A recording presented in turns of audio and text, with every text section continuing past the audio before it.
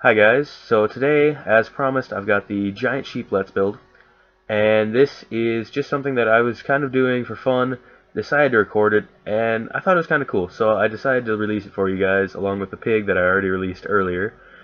And so, this, right now, obviously I did a little bit of groundwork, I raised right where I want the legs to be by one block, and so I'm going around, you know, just building legs, and I used brown wool, because I think it looks better than wood.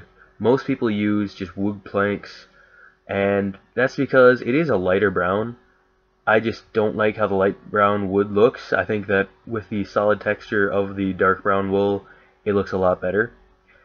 And then, of course, the sheep aren't one solid part for the entire leg. It's half brown wool, and then one block wider is white wool, and that's the top half. So you'll see me going around right now just filling in that little top half white wool part. And I want to take this time while I'm doing this to tell you guys that I will also be doing Let's Builds, uh, these same kind of things, along with a couple other different things, GTA, uh, Toy Soldiers Cold War, and a few other games on a new channel. It's called Gamers Rising. I encourage you guys to check it out. We launch next week. Uh, I will be doing Let's Builds, and then again, I will obviously be doing other videos along with it which we already made a few. It's going to be a lot of fun. I think you guys will really enjoy it. So I encourage you guys to go check out that channel. Uh, right now, you know, I just checked a sheep, and so now I'm just filling it in, making sure I've got the bottom of the body. And then I believe what I do next is I'm going to move on to the face and the head, and just the front in general. And this is the part that's really 100% has to be perfectly accurate. So you might see me looking back at my computer a little bit I have this sped up, so it's not going to be too long of a pause. Um, obviously, you can't do something this big in so or such a small amount of time.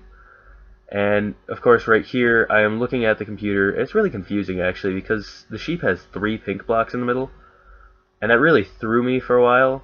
It's also got a very different setup where the face is a little bit further out than the head itself. That's not really normal with the Minecraft animals in general.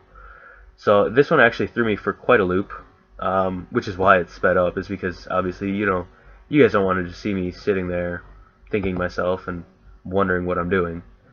So right here, you know, just filling it in. So now I've got the face done, the front is done, then you just want to fill in the top of the body, and you're just going to go around filling in the body. And this is really simple, really fast, a kindergartner could probably do this if you showed them how to do the controls. It's not hard at all. So you just got to go around, fill everything in. And then, of course, you want to get the back of the head. And it does go onto the body partially, so you got to make sure that you line that up right. And then right there, you know, obviously you want the noise of the animal inside the animal because that just gives it an added part uh, realism I did this with the pigs, I've done this with all my other Let's Builds, and all my future ones as well, because I've already got a few of those ready to go. So you guys will probably see some more of those coming out soon. But you obviously want the animals in there, just that you get the animal noise, and that way it gives it a little bit of added realism. You can kind of hear the sheep, and it seems more lifelike, rather than just seeing this giant block of wool. So what you want to do after you put one, maybe two, three, four, five, ten, uh, it doesn't really matter.